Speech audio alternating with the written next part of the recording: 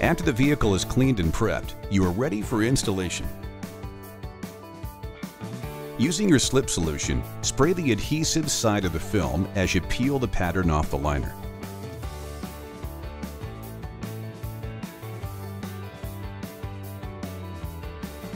Place the pattern on the mirror, lining up the edge closest to the car.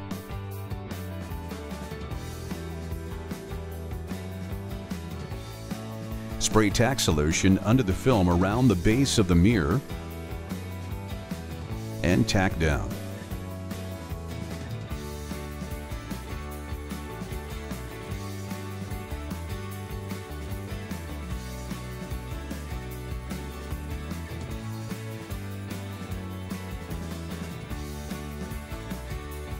Carefully lift the pattern and spray with slip solution.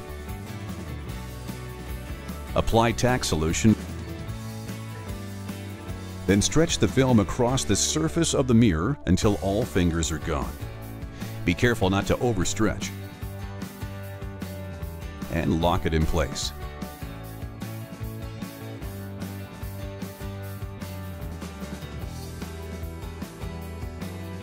Continue squeegeeing to remove the remaining moisture.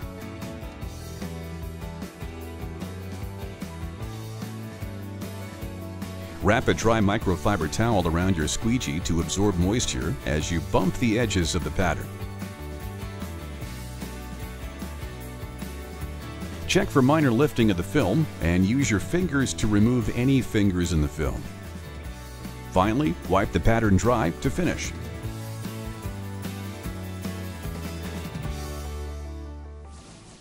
To learn more about LLumar paint protection film installation, please check out the other videos in this series.